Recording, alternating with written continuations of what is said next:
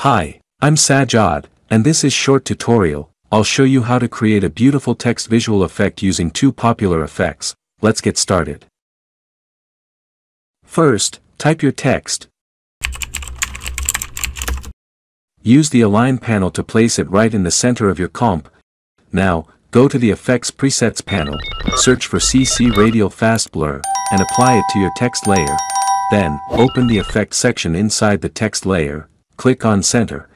Turn on the stopwatch icon to create a keyframe. Now, drag the center value all the way to the left, move your CTI 2 seconds forward, and set the center all the way to the right of your text. Make a copy of your layer, right-click on the new layer, and from the blending mode menu, choose overlay.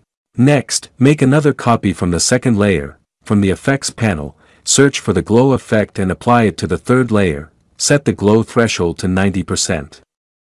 Let's see the result together. If you want more brightness, you can increase the amount value a little. Subscribe to my channel for more tutorials. Thanks for watching, take care.